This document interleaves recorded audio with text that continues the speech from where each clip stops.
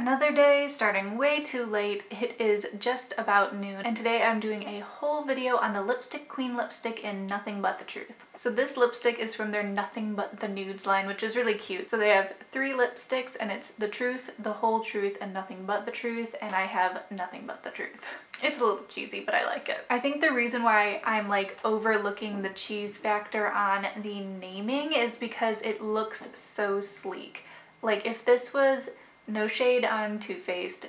I hate their packaging so much. It's so over the top, girly to the point of being quite childish. So if they had done something to the same effect, even using the same names, and they had like really bright pink packaging with lots of hearts and heart-shaped bullets, like stuff like that, I would not be about it. But this, I mean, this looks super classy. Also, can we talk about the fact that I'm wearing a nude lipstick? I never, ever, ever wear nudes and I am loving this. It's quite a beigey nude and they actually call it a beautiful beige nude. The whole truth is a perfect peachy nude, which is way too peach for my taste and the truth is a pretty pink nude. I think the reason why I actually like this one is because it's like a nude-ish shade but it's quite rosy and it's dark enough on me where it doesn't like make my lips disappear. Alright so I'm to go ahead and read what Lipstick Queen has to say about this lipstick and show you the application process. Do you swear to tell the truth, the whole truth, and nothing but the truth?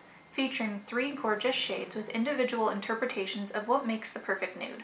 A rich texture delivers the perfect amount of pigment with an ideal sheen to show off your nude. Enriched with natural oils, waxes, antioxidant vitamin E, these smooth, luxe, and comfortable nudes are supercharged with hydrating nutrients to impart a modern vinyl look and feel to the lips. Effortlessly chic and universally flattering, this is a collection for the nude obsessed and the nuances that go into a beautiful nude experience. So obviously with only three shades, the universally flattering thing is a little bit hard because with the like whole range and depth of so many different skin tones that there are, are there going to be three shades that will work universally on anybody? Obviously not. But you could also argue that for me this is not necessarily a nude but more of just like a kind of rosy lipstick. But it would be like a true nude for someone who has a darker complexion than I do. So take that, you know, with a grain of salt. The lipstick went on super smooth. You can tell that it definitely has a lot of emollients in it. It was like very smooth to go on the lips, but creamy enough to impart like actual color. So you know when you have like a really moisturizing lipstick and it just kind of like swipes across the lips and you don't actually get any color put down. This feels like it's very creamy, almost like it's like melting into your lips. Obviously there's quite a lot of shine to it, but I don't know if I would call that a vinyl shine. Like vinyl to me looks very wet, very extremely shiny, almost like the like the Clé de Peau, what was the heck was that called? Like the Clé de Peau Radiant Liquid Rouge, which I'll link wherever it goes. That had an incredibly vinyl shine, like very extraordinarily very, very shiny. This I would call more of a cream shine, but you know, we'll see how long it's going to last. Other than that, let's look real quick again. So it says the perfect amount of pigment, which is not really much to go off because what is perfect? Is it totally fully pigmented and 100% that color or is it slightly less than that or is it very sheer? You can't really say a perfect pigment and know exactly what they're talking about. That being said, it's, I mean, that's pretty darn close to full pigmentation, so it is very comfortable. I can't really feel it on my lips unless I like rub my lips together, so that is great in my book. I hate when you can like feel a lipstick on your lips, especially if it feels heavy, which some like heavy creamy lipsticks can.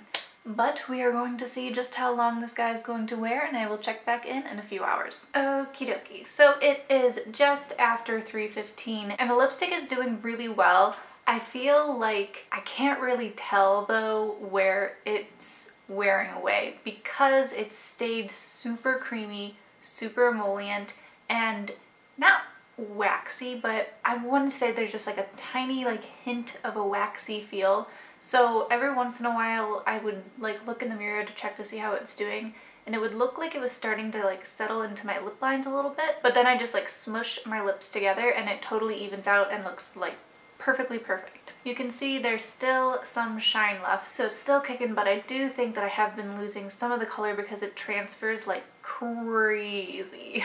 I would show you with like a back of the hand kiss situation, but I feel like if I did that now, I would just like kiss off all of the lipstick. So it's absolutely not transfer proof. It goes onto everything. So keep in mind if you are going to be like taking this out on a date or something, you might want to like take it with you, warn your date that you're gonna get lipstick all over them. You never know. But that is it for this check-in and I will see you in a little bit. Okay, so here we are at 6.30, almost on the nose. You can never see.